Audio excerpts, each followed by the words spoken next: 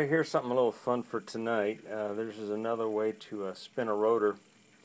And uh, this little structure that I built up that has the, uh, the bearing and a piece of flattened out brass wire and then underneath there's a Phillips head screw that the needle runs in down in there. Uh, is pretty neat. I've, I've enjoyed working with a, a, a new structure for a rotor and I've been showing it uh, with a regular uh, magnet rotor and a coil and driving it uh, you know with a pulse of this and pushes the rotor around. I thought I wonder if it'll work electrostatically. And boy it did. And that's an electrostatic motor. I'm running it off of a negative ion generator.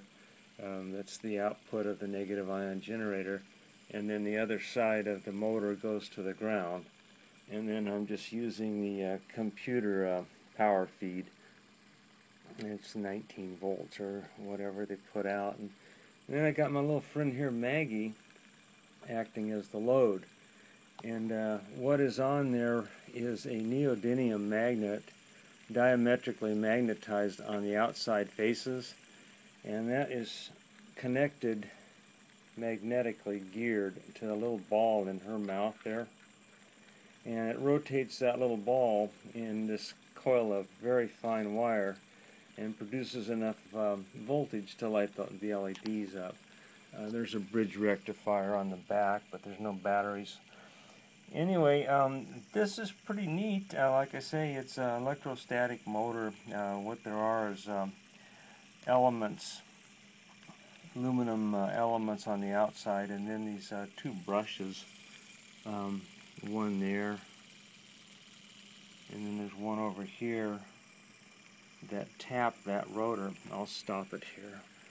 You can see it.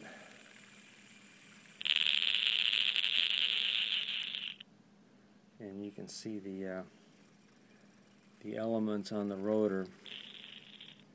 They're just pieces of aluminum tape. And then the little brushes are aluminum foil. And that's all there is to that. And as it goes along there, it uh, charges and discharges that rotor and rotates the rotor on that needle on those bearings. And uh, with that neodymium magnet spinning up there, um, you've got a way to take the power off of it. And so that's one of the problems with these electrostatic motors is they don't have much torque, so you have to be careful how you take the torque off of them, the power, so you don't lose it to friction. And this is the way I've been doing it, is using a neodymium magnet and then uh, using a uh, a way to take it off using magnetic gearing.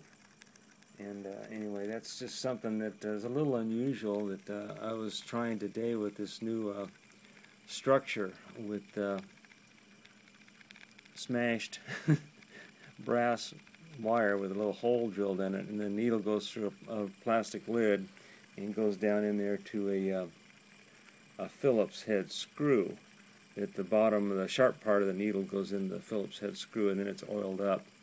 But anyway, that's just something a little a little different tonight uh, to show how this uh, new structure that I'm working with uh, actually works pretty darn good. Thanks for watching.